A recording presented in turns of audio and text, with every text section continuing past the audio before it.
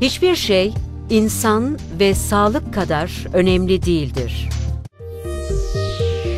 Avrasya Hospital Sağlık Rehberi Konseylerde çok önemli vakalar, hikayeler ortaya çıkıyor. Evet.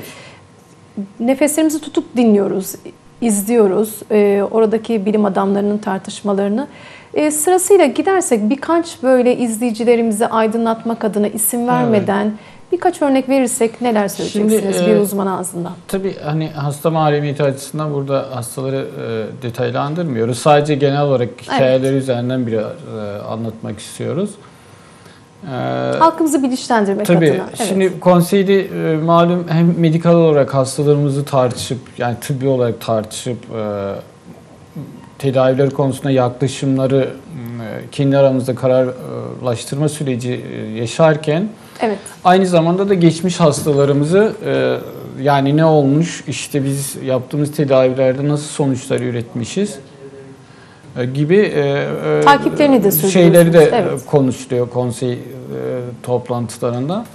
Şimdi bu e, ilginç olan olgular tabii ki şöyle bir şey. Bu kadar tedavilerde mesela nasıl hikaye, şeyler edindiniz, nasıl hikayeler oluştu, nasıl e, deneyimleriniz oldu diye merak eden insanlar da var. Hani yaklaşık en azından 2 yıldır yoğun olarak aslında 10 yıldan beri Avrasya'da radyasyon onkolojisi e, merkezli bir o onkolojik süreç e, içerisindeyiz radyolojik e, bölümü olarak ama medikal onkolojinin yaklaşık 2 yıllık süreç içerisinde yanına patolojinin gelmesiyle birlikte ve onkolojik cerrahinin de geliştirilmesi özellikle öyle depar, faaliyet yürüten bir departmanın da olmasıyla birlikte biz o e, hastaları kendi hastanemizin yerinde takip edip ve tartışma olanağını da bulduk biliyorsunuz.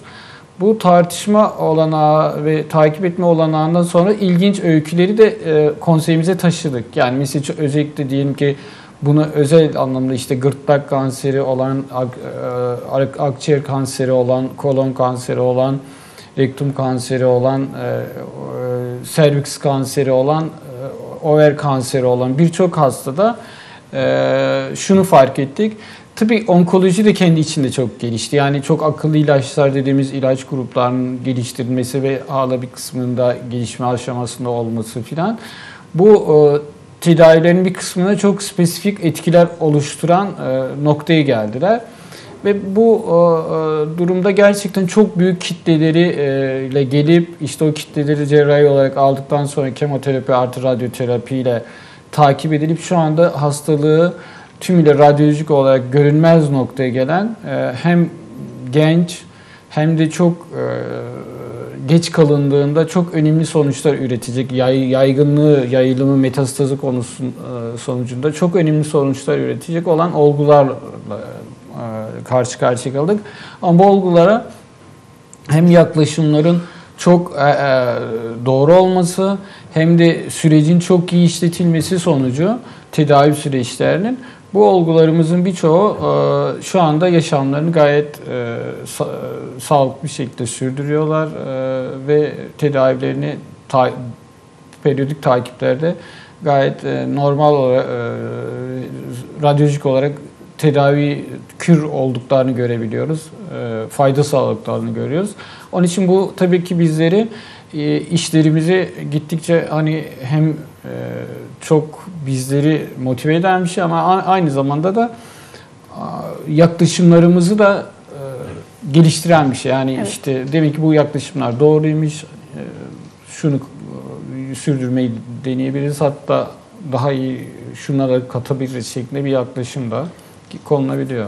Bir de e, sizinle birlikte birçok aynı konuyu düşünen, sesi düşünen meslektaşlarınızla fikir alışverişi e, hem hasta adına hem sizler adına da e, daha kolaylaştırıcı bir tercih kılavuzu oluyor değil mi Ya hocam? tabii yani ne kadar çok e, şimdi şöyle bir şey var tıpta ne- bence tıp aslında bir ekip işi. Yani ne kadar akıllı davranırsanız davranın yani kendi kapalı devresi içerisindeki bir hekimlik faaliyeti bence hem şöyle bir şey var.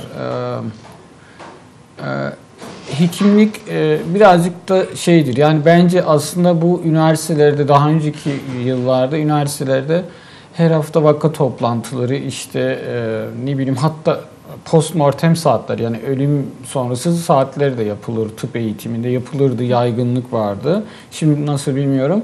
Yani her şeyin sebebini ve birazcık da toplu tartışmak. Yani tedavinde tedavide toplu tartışmak, tanıyı da toplu tartışmak aslında ölüm ölüm gerekçesinde toplu tartışmak e, bu e, şey hem o alandaki hekimlere bilgi sağlayacaktır, deneyimlerine deneyim katacaktır.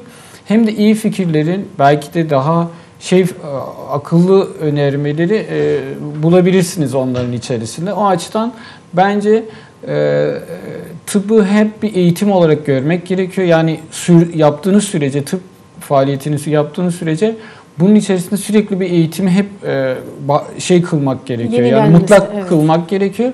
Ama bu eğitimi de bence toplu sürekli yapmak e, çok sayıdaki fikir oradaki insanların düşünce kalitesini de geliştirir ve bakış açısını da geliştirir bir şekilde. Evet. Hiçbir şey insan ve sağlık kadar önemli değildir. Avrasya Hospital Sağlık Rehberi